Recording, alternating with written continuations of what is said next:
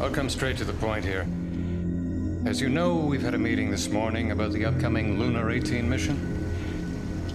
We'd like to formally offer you the command of this mission. The focus will be obtaining data from the dark side of the moon. We will be teaming you with Frank Adams as your co-pilot. You feeling okay? No, I didn't sleep, but uh, but now I'm feeling more myself. Frank, I have to say this. I don't know what's the matter with you, but I really need you to be focused today.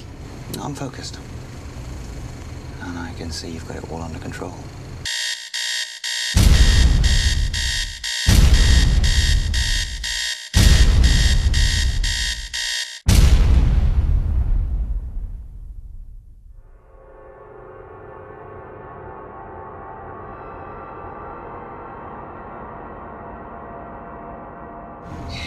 You think us talked about this?